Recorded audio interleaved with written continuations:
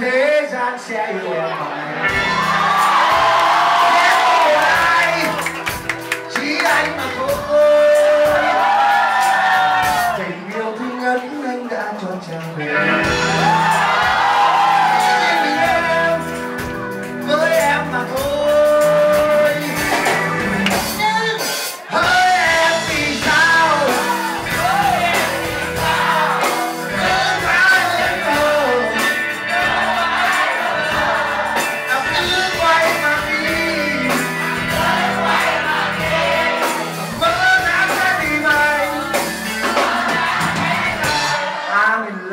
for the first time.